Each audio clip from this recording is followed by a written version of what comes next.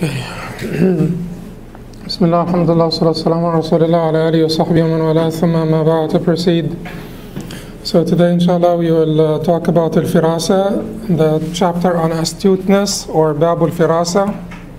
Uh, and uh, in the fiqh session, we will talk about al-buyu' we will start the uh, fiqh financial transactions the section on the fiqh of financial transactions, and today we will talk about al buyu' talk about some introduction and uh, also um, definition and uh, you know the uh, maybe we will address some of the pillars and conditions of valid uh, sales.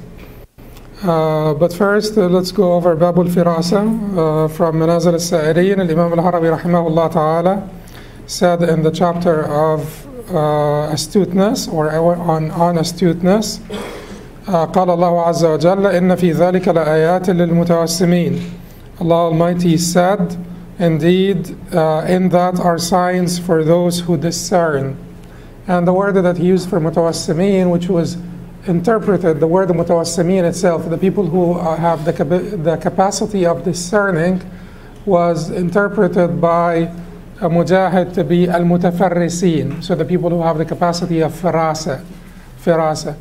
Um, and as we said before, firasa is basically this uh, mental astuteness, uh, but not just the mental astuteness. Uh, in fact, the Sheikh here would be addressing primarily spiritual astuteness. So it's the ability of prediction.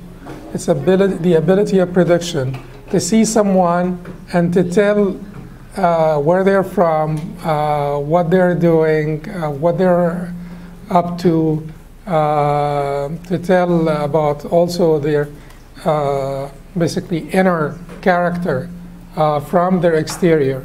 It's about telling about dakhil from al kharij, telling about the interior from the exterior. It's telling about al khuluq from al khalq. It is telling about the character from the appearance from the external appearance. Um, it is basically something that that is needed in, in, in many fields, right? Like in medicine, for instance, uh, like in law enforcement. Uh, you need to have that basically discerning eye uh, to be able to tell people apart and to know what they are about and what they are up to and things of that nature. So maybe give some examples of what they called firasa before, what they consider to be firasa, to have a little bit of understanding of, uh, of firasa. Uh, so Muhammad ibn al-Hasan and Shafi'i, uh, may Allah be pleased with them. Uh, you know Muhammad ibn Hasan, one of the main disciples of Abu Hanifa, uh, radiallahu anhum jami'an.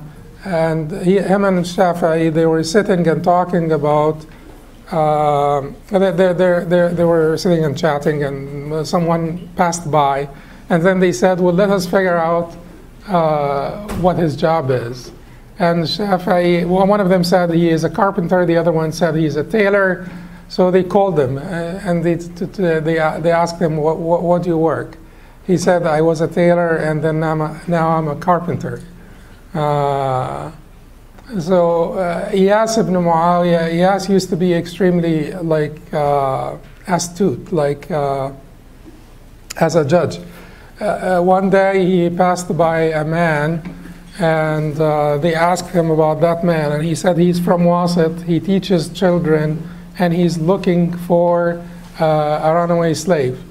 So they said to him, where did you, you know, and, and then they went to the man and they asked him, what are you uh, what are you doing here? Because he was not from town and he told them i'm from Wasit, and then i'm looking for a runaway slave. And they uh, said to him uh, so what what what do you work for what do you do for a living? And he said to them i'm a teacher. Teach young boys. So they went back to Iyas and asked him so how did you figure this out? He said he said that he has like his garment has threads uh, like red threads that are sort of characteristic of garments from Wasit. And uh, so, how did he figure out that he was uh, that he was teaching young boys? uh, or youngsters, and he said that uh, he was paying more attention to young boys and he was giving salam to young boys and ignoring the, you know, the elders. Um, and then how they said to him, how they figure out that he was uh, looking for a runaway slave, and he said to them that he was looking carefully uh, at uh, people with sort of uh, uh, like sort of cheap garments. and he was looking at people who had their face covered. He was looking at people who had their face co- covered and wearing cheap garments. So that's how I figured that out. So that he used to be he used to be known for his firasa, uh, this power of prediction. The, um, Shafi'i rahimahullah ta'ala, and that tells you also that firasa can be in part acquired. It is a natural thing. It's a gift from Allah subhanahu wa ta'ala. And this is what the Shaykh is predominantly talking about here. It is the firasa that comes through ilham, which is inspiration, or disclosure, which is kashf uh, that is not dependent on subtle science. You know, here Iyas was using science. Uh, and most of the time, Firasa is about using subtle science that other people will not see. You know, th- there are certain people who have this ability, like, to, uh, to, to, to, use subtle science. Uh, be, be, certain behaviors uh, give them certain clues uh, about the, the people they're dealing with. Uh, some people can be easily deceived. Some people are not easily deceived. You know, some, some people, for instance, you, you, know how, like, sometimes people basically come into a neighborhood or come into a congregation or into a masjid, for instance, and raise funds for various sorts of purposes whatever investment and so on. Some people can be easily deceived by, you know, so some of them are, you know, genuine and uh, truthful. Some of them are not. Some people are easily deceived by the people that are not particularly genuine. Uh, and some people are not. They, they can tell. That they, they, they feel something wrong uh, or they detect uh, that, that the, their behavior uh, or their body language. They detect something about them that, that causes them concern and makes them, you know, uh, uh, basically uh, cautious. So Shafi'i, rahimahullah, when he was in, in Yemen, he spent quite some time in Yemen, he was reading a lot of books on firasa to be, you know, be, he, so he was learning firasa. He was learning that astuteness, that power of prediction. Sometimes it's acquired, it can be learned. So, and then on his way back to Mecca, he was sort of exercising what he learned. And then he passed by a man and he, he, he figured that, that this man must be uh, stingy, miserly. And then the man called him uh, and, you know, and invited him to food and took good care of him and was very hospitable and so on.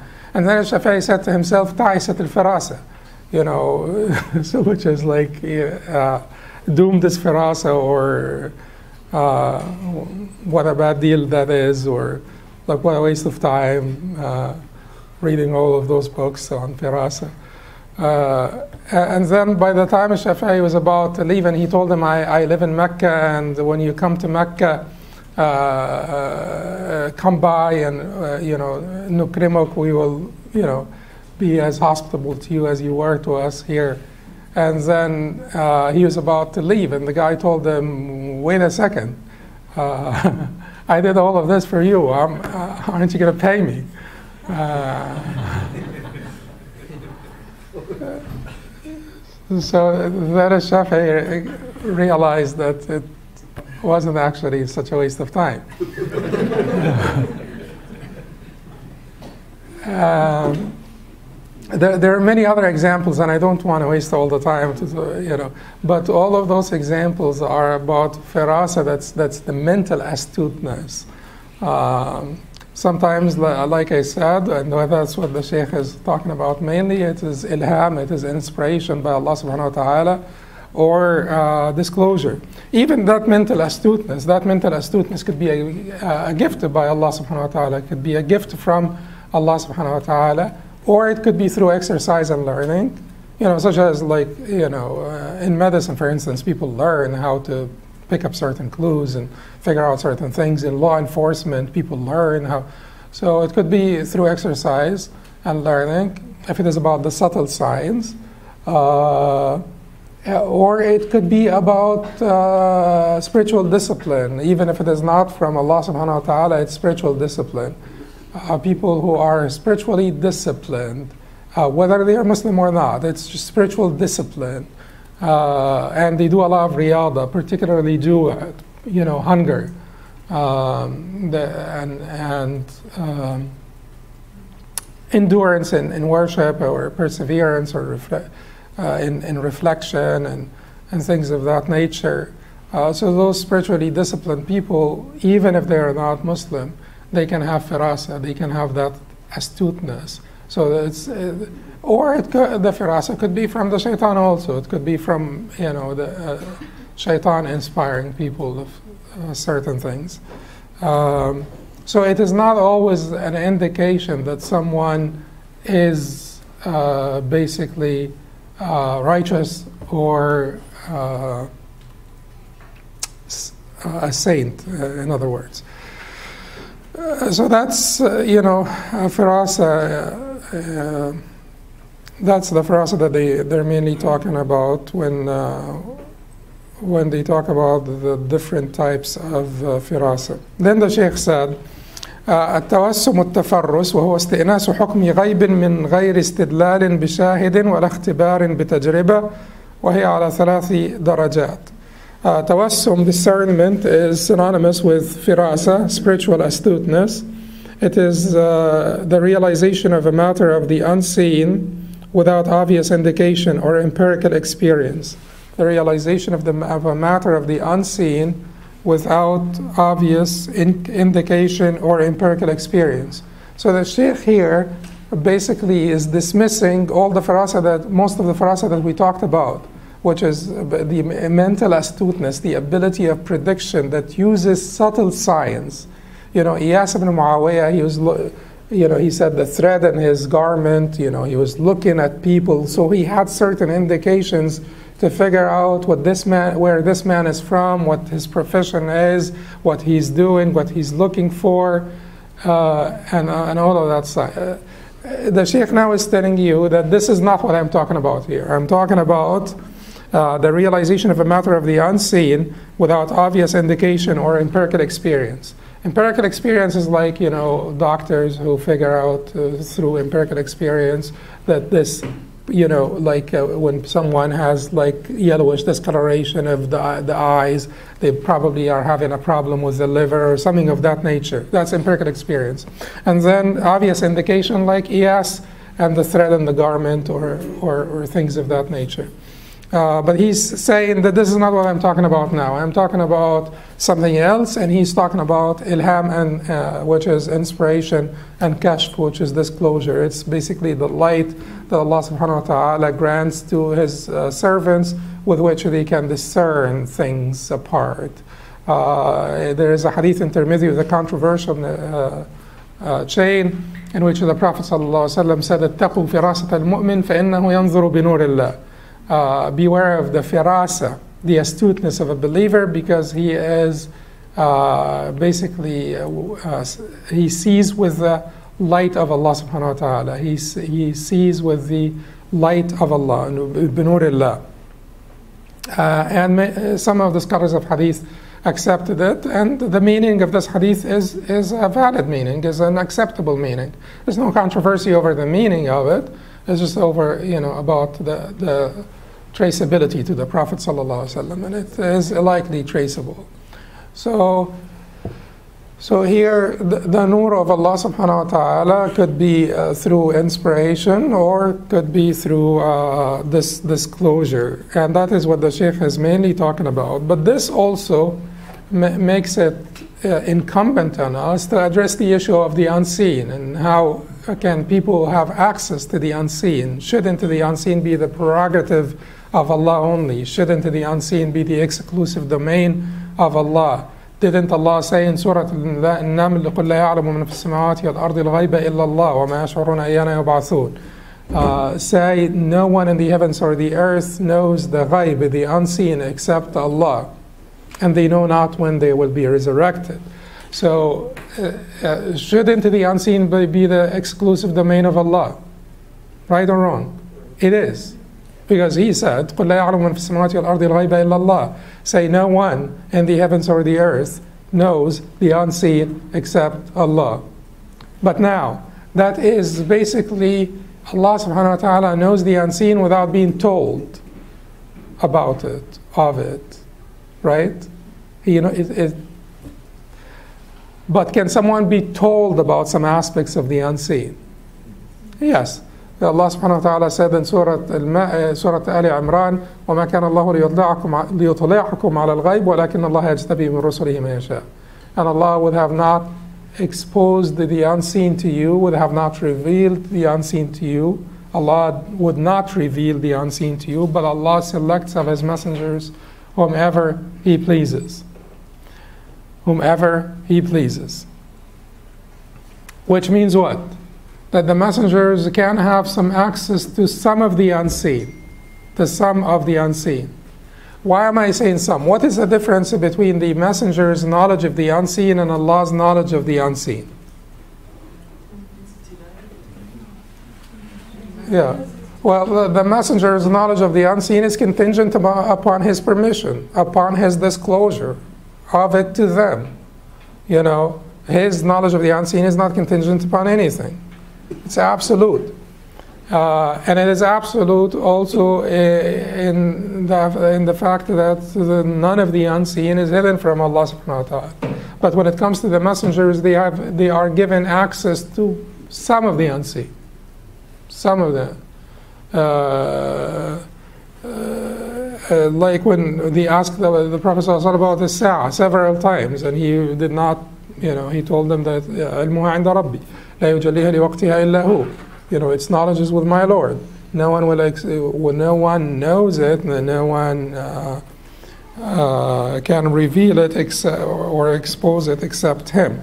So the knowledge of the messengers is contingent upon His permission. The knowledge of the messengers is also limited. It is not absolute, like the knowledge of Allah, uh, the knowledge of the unseen that Allah has.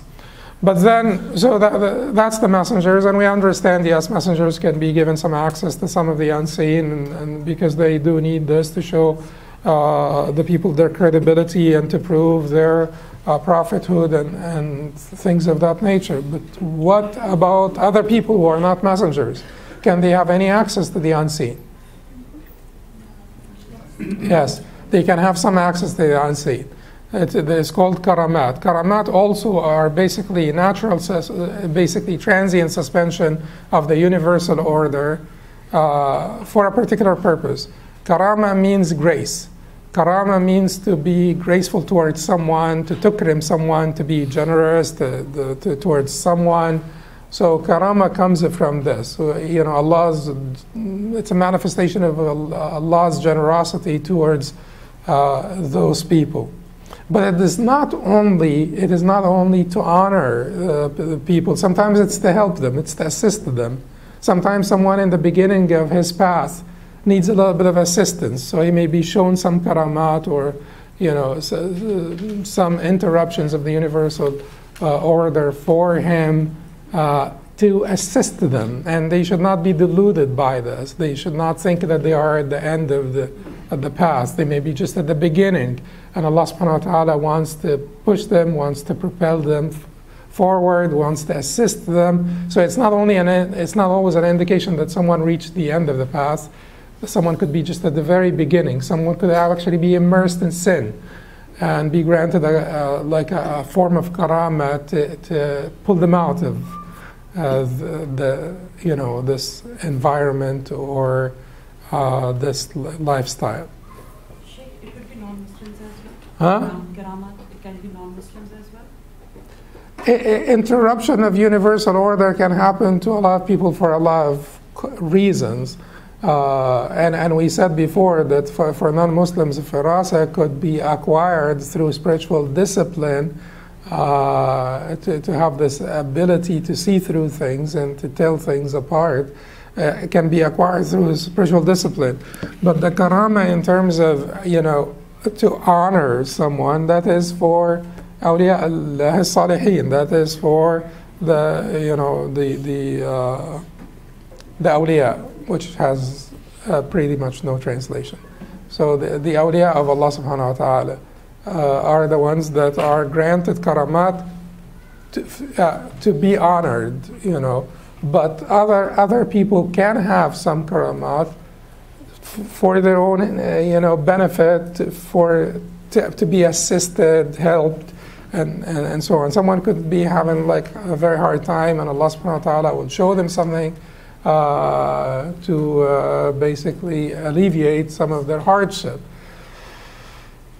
But then in this case, the, the, what is the difference between the karamat of those people, the karamat, the graces that Allah subhanahu wa ta'ala grants to uh, people other than the prophets and messengers? Two very important differences, two extremely important differences.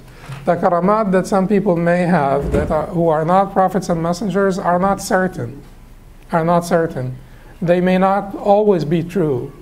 You know, uh, so, so or, or, maybe uh, I should not say this. If it is a karama, it is true. But what I'm saying here is, when when they have when they predict something, for instance, uh, based on inspiration or disclosure, that inspiration or disclosure may be imagined at times, not always certain. In other words, you know, for the prophets and messengers, it cannot be uncertain it cannot basically hit and miss, sometimes hit and sometimes miss, because that would basically taint their credibility.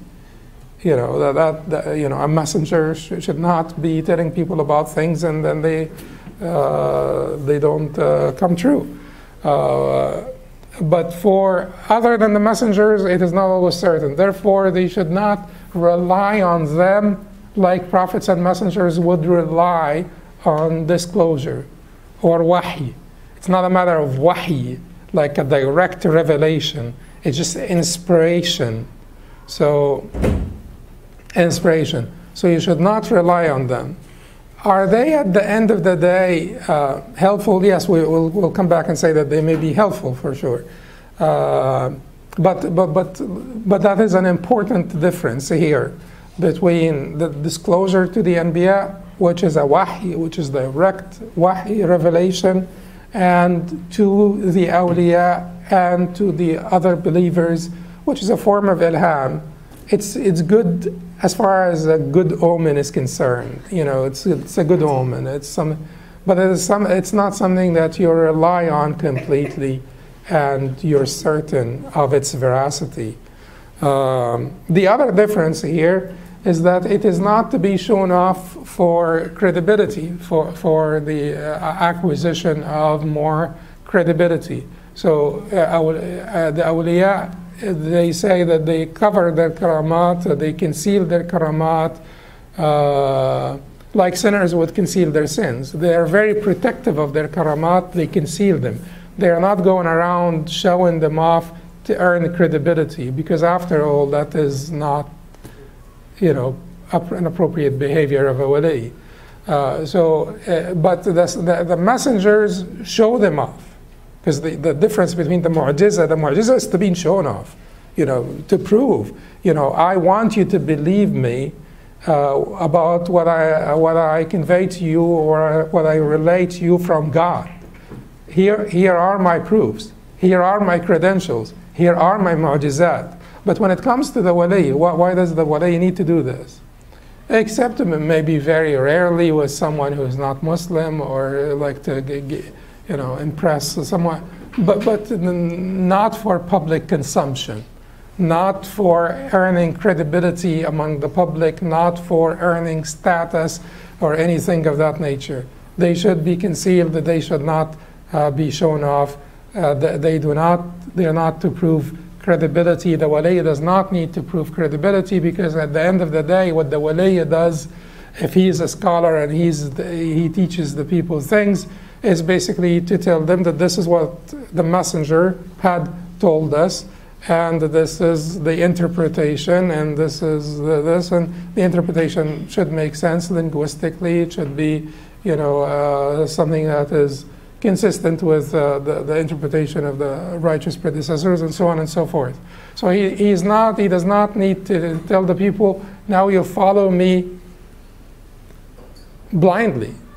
Because at the end of the day, when you follow the messenger, uh, it, it, it is certainly not blind following uh, in, the, in the negative sense of the word, but to some extent it is blind following.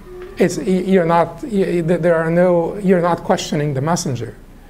Uh, the, uh, you're only asking, how do we do this? Uh, you're not asking him, mm, why should we do it? You're asking him, how, we do, how do we do it? And if you ever ask him, why should we do it, it is not basically to, to, uh, to determine whether you will act upon it or not. It is basically for the comfort of your heart for, and for, for your also ability to explain it better to others and, and so on and so forth. Uh, so the, the, the, these are important differences between mu'jizat and karamat, important differences. Mu'jizat are certain, they don't ever miss. Karamat may not be as certain, uh, particularly when it comes to disclosure. Uh, the other one is the fact that mu'jizat are to be uh, demonstrated uh, to the people uh, to prove the, the, the, the, the messengership or the prophethood of the prophet. Karamat uh, are not, by default, are not. Uh, so when someone uh, talks, to, uh, you know, talks about karamat or how they have disclosures or so on and so forth, uh, you particularly do not. Uh, it, it, it may come as a coincidence. It's not like someone trying to show them off. In fact, Ibn al-Qayyim rahimahullah uh, gives like many examples of the firasa of Imam Taymiyyah rahimahullah in, in Madarij al-Salikin, in, in this uh, particular chapter, this particular station. So he tells of so many things that Imam Taymiyyah had uh, predicted and they, they, they came true. And he gives so many examples and he says that the, the older disciples of Imam Ibn Taymiyyah know a lot more than I do. But he told them, for instance, uh, when he went to Egypt and they told him that you may be killed, uh, there was like a particular ruler that, that was not particularly uh, friendly towards, to, towards Imam Taymiyyah, so they told him, you will be killed. He said, no, I will not be killed. Uh, they told them they'll put you in jail. He said, yes, they will. Uh, and then I will spend uh, this much time and I'll come out and I will uh, preach, you know, and I will basically preach the Sunnah and so on and so forth. And they said that everything he said did happen. Uh, they all, he also foretold the, uh, an invasion by the Tatars, uh, even before they mobilized their, their troops from the, the point of origin. They told them that they will come and they'll invade. Uh, so, and then they were concerned about, you know, a slaughter, a massacre. He told them, no, this time they will not do any of that. This time they will only, they will only be interested in money. And then when the Tatars invaded, they were only, they, they were only uh, interested in, you know, uh, in money. Uh, they, they, did not particularly cause any bloodshed. And then there was another time where he was trying to recruit the people and tried to recruit the Sultan and brought him from Egypt uh, to fight against the Tatars in, uh, in the Battle of Shaqhab, and he himself was one of the horsemen in that battle. And uh, so he uh, so he was telling them that he was trying to sort of comfort them, and he was telling them that he will win this this battle against the Tatars. And then they told him, "Say Inshallah," so, you know. And he said, "أقولها تحقيقا لا تعليقا."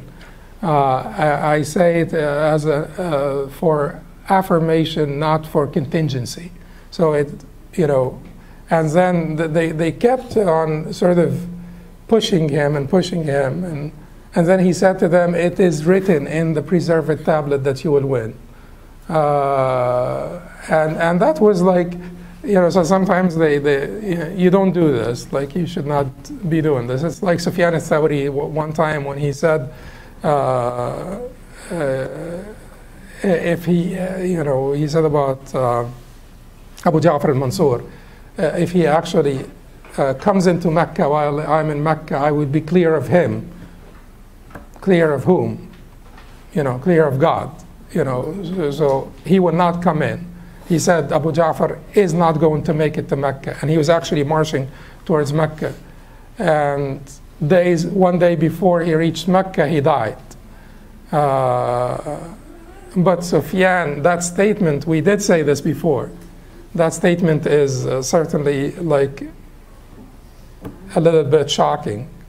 Uh, but he is comfortable, he was comfortable with his disclosure to the point where he made that statement. And this is a state of inbisat, expansion, you know, affability with Allah subhanahu wa ta'ala. It's like you do not do like them because, you know, they can handle this stuff. It's like you, you walk behind someone or you, you jump behind uh, someone uh, like an athletic they make it, you fall. So don't, don't imitate them in this regard.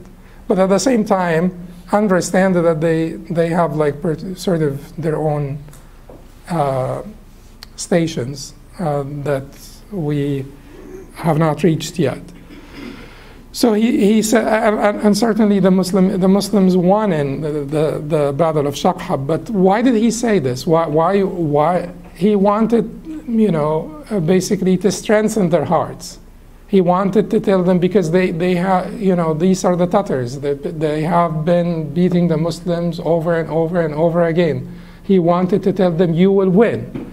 Don't go into, in the, into the, this uh, thinking that you will lose. You will win. I swear that you will win. And then he, he was, when they just bothered him, he was forced to tell them that this is written in, this, in the preserved tablet. He was very confident of his disclosure in this case. Uh, but like I said, you don't imitate them in this regard. You understand that at the end of the day, regardless of his comfort, uh, his disclosure is still uncertain. Is still uncertain. You know, it would be certain if it was a prophet. Uh, he can be as confident as he wants, as comfortable as he wants. Any wali could be as comfortable or confident in his disclosure as he wants, but disclosures are certain only for the prophets and messengers. The second thing, uh, they should not be shown off. Here he was telling them because of a particular, of, of sort of a legitimate, uh, a legitimate cause here. The cause here is to strengthen their hearts, to encourage them, to motivate them to fight like they're going to win, not to fight thinking that they'll lose because they have been losing to the Tatars forever. Uh, so that's, you know, because, uh, you know, I, I, know that we uh, spent too much time on this, but, but, or so much time, not too much time, so much time on this, but it, it is a, an important matter.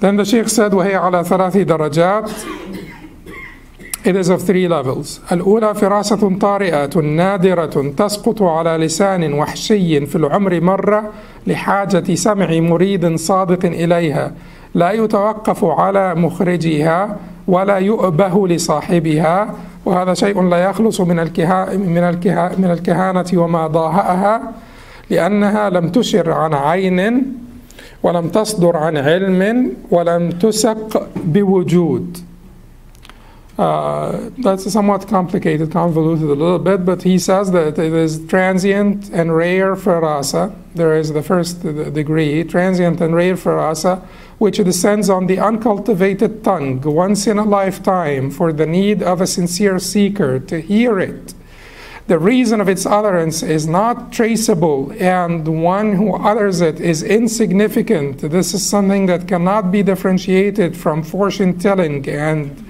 its likes because it does not refer to certainty and does not emanate from knowledge and is not driven by an existent state, an existent had spiritual state or something.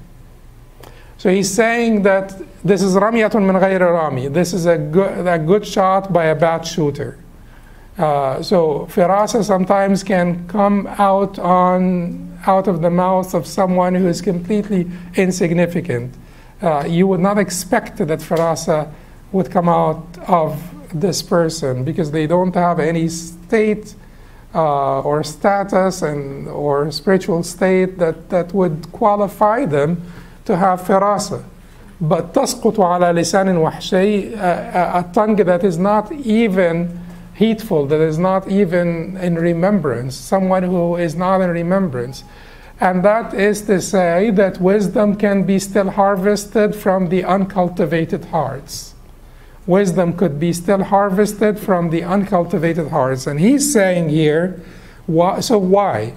Why? So you're, you're just like anyone, you know, something of about the unseen can be told by someone who does not have any ranking, does not have any status with Allah subhanahu wa ta'ala.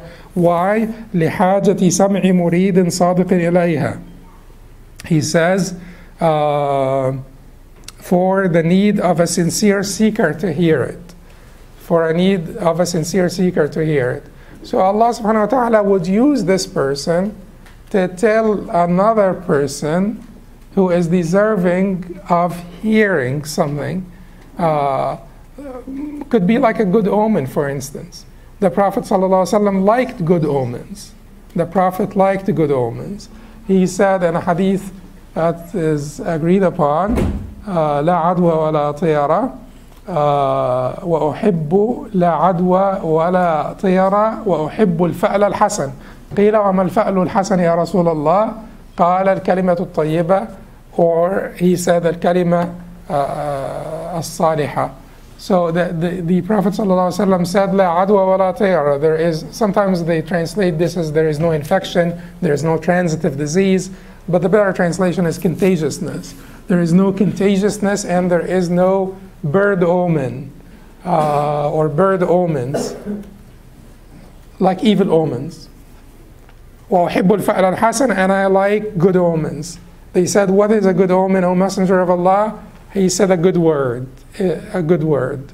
Um, so uh, good omens, you may hear them from anyone, not necessarily from the most cultivated hearts, but you could hear a good omen from anyone.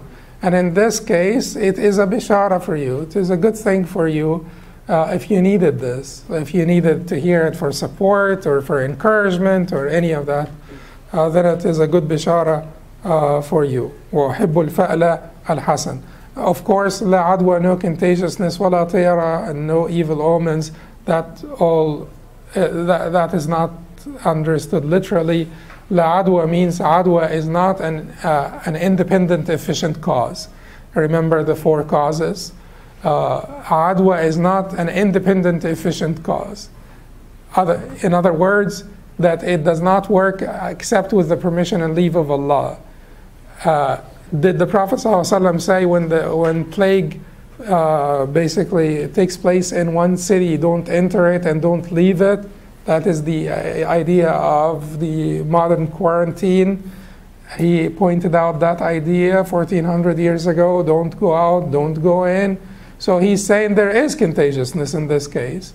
He said, run away from the leopard like you run away from the uh, a lion.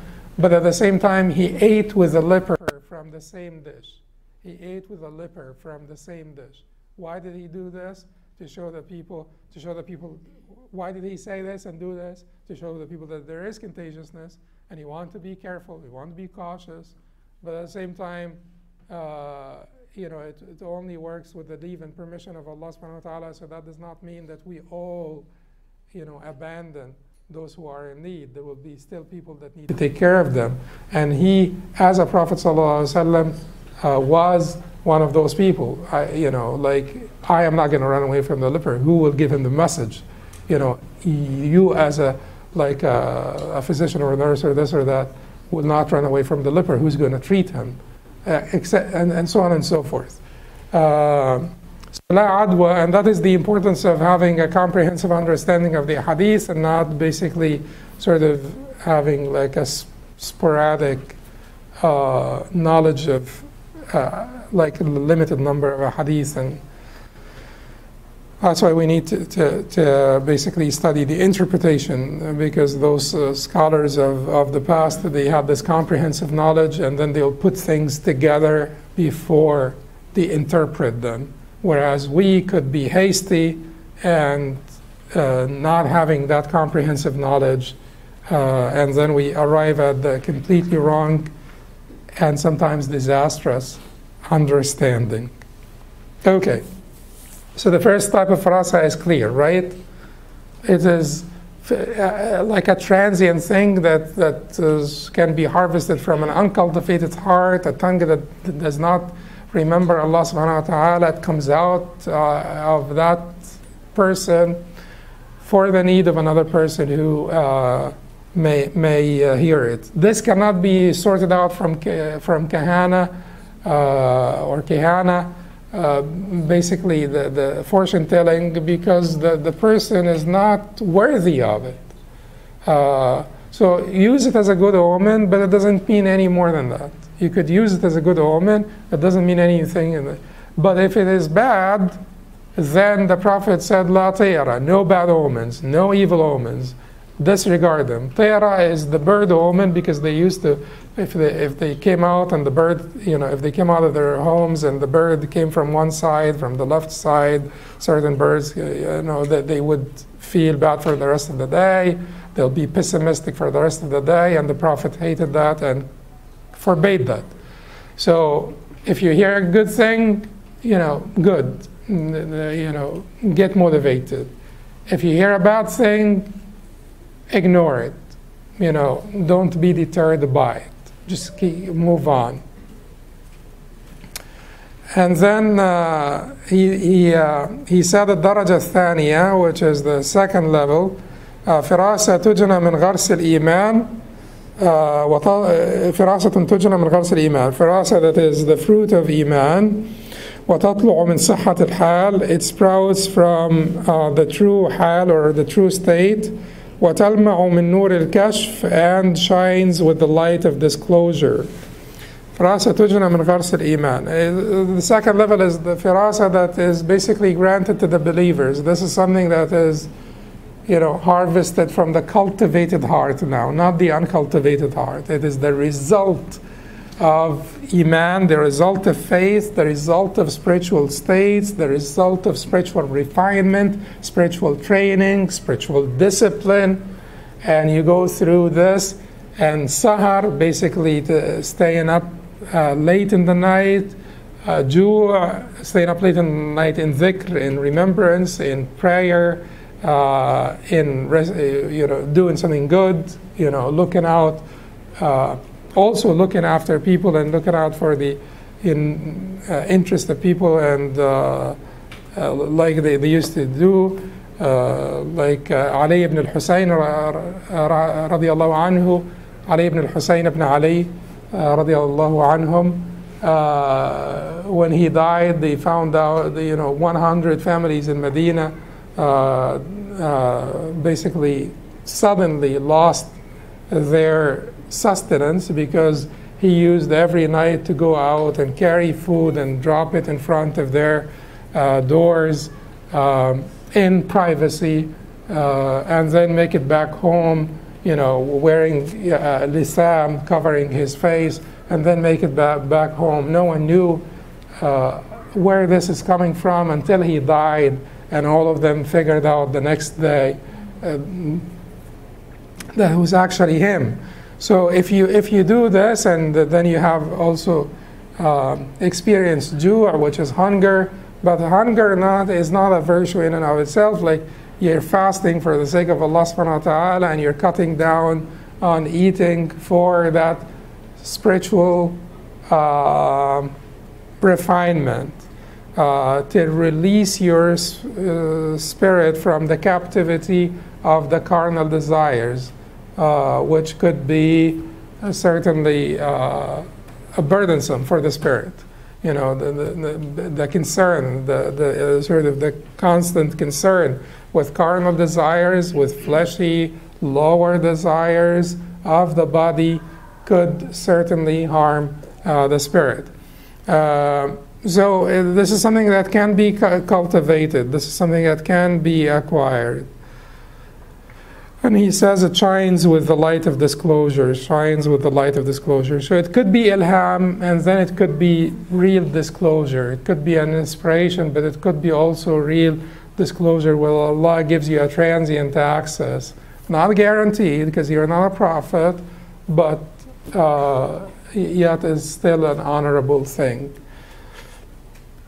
والدرجة الثالثة and then he talked about the third level فراسة سرية a most noble فراسة لم uh, تجتلبها روية that is not produced by deliberation على لسان مصطنع تصريحا أو رمزا but comes out or comes forth from the chosen tongues either explicitly or through symbolism either explicitly or through symbolism you know, this is the third phase, the phase of self annihilation, self absorption, uh, or I'm sorry, self annihilation or absorption into the divine. Uh, and in, in this case, it's the most noble firasa. It would be as close to certain as possible. This would be as close. Remember when uh, Ibn Taymiyyah rahimahullah said, It is written in the preserved tablet that you will win. So it is as close to possible, still not certain, still not certain, should not be treated as certain from anyone short of a prophet or a messenger. Could be as confident, you could act on ghalabat al-zan and you could be motivated because most likely it will be true, most likely. But you can never, you never say most likely with a prophet, right? Because that, that, that basically destroys the whole concept of prophethood if it is just most likely, you know. But you could say this with the awliya. Most likely you'll be right. Uh, but it gets as, as close as possible to certain with the more spiritual refinement. Uh, and it is it, it comes forth from the chosen tongues, you know, the ones who, who are most chosen because it's the most noble for firasa uh, either explicitly or through symbolism, either explicitly or through symbolism. If people can handle it explicitly, you tell them of it explicitly, uh, or if you believe that for some reason it should be told through symbolism, then uh, you use symbolism. And uh, and uh, still, uh, you, you don't yourself get deluded by it uh, by any karama, you're still cautious. Abu Bakr uh, radiallahu anhu, the most deserving of uh, Allah's karama, he was always cautious. He said, if one of my two feet is in paradise and the other, one is outside, I will not be sa- I will not feel safe uh, from Allah's plans. Uh, so you should never, uh, regardless of what you go through, get deluded by uh, those states or those disclosures. Um, that's it with the with the station of Firasa. Uh, but I hope that it is clear, and then I go back to it because it, it is a, it's, it's, a common problem. Sometimes also because of partisanship, because certain people have certain ideas about the unseen or uh, access to the unseen, and they can't really differentiate between things. They could hear that, you know, someone had a disclosure and say that they, these are uh, basically crooks or something like that, which is not right. Uh, it may be true, it may be a karama. It is not, you're not in a position to say about a righteous servant of Allah subhanahu wa ta'ala that they are um, uh, basically deviant or anything.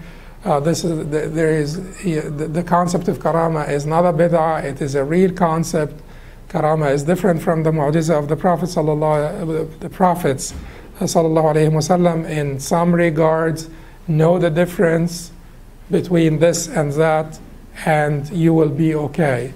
But at the end of the day, the karamat are not used to establish credibility.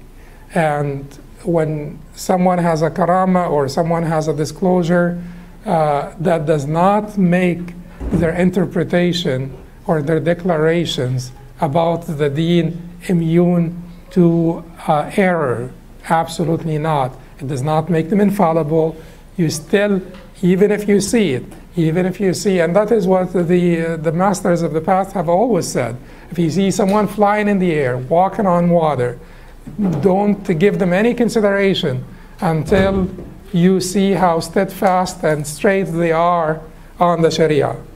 Don't pay any attention to them until you see how steadfast and uh, straight they are on the uh, Sharia. That's what the, the, the great uh, masters of Sunni Sufism have always emphasized and have always stressed. أقول قولي هذا أستغفر الله لي ولكم سبحانك اللهم وبحمدك أشهد أن لا إله إلا أنت أستغفرك وأتوب إليك